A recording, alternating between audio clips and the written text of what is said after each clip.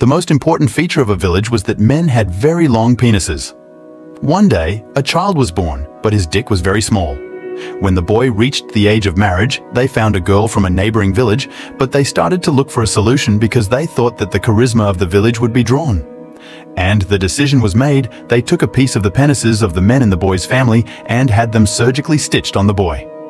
The wedding was over and they had intercourse. In the morning, everyone was at the boy's door to find out the result with excitement. One of his family asked, What happened? Did it work?